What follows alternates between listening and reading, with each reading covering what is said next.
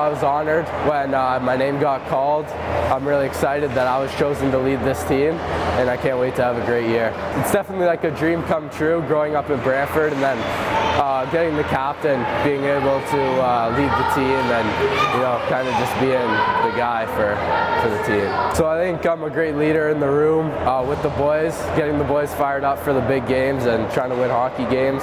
And then I think I'm also a great leader on the ice. I like to work hard. I like to lead by example.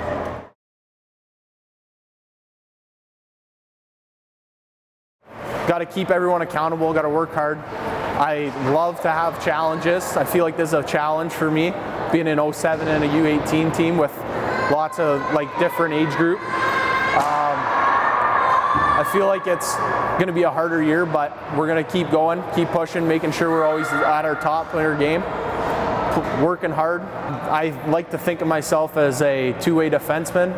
That's good puck moving in the D zone, good physical.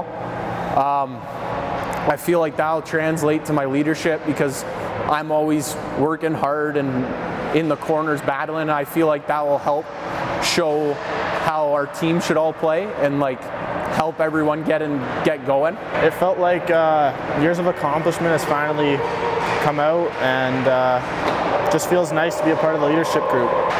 I think I have a good positive attitude on and off the ice and I'm really hardworking in school, on the ice, so bring a lot to the table, ready to help out with uh, helping Gabe and the other leadership people. It was a great feeling, obviously, uh, you know, to hear your name get called, and especially for the great group of guys we have this year, it's a it's an honor and it's a really good feeling. I think the main thing for me is just uh, like leading by example uh, on the ice, off the ice, just making sure I work hard, you know, listen to the coaches, uh, just try to get better every day, and hopefully the teammates pick up on something from that and try to get better and uh, just keep growing as a team.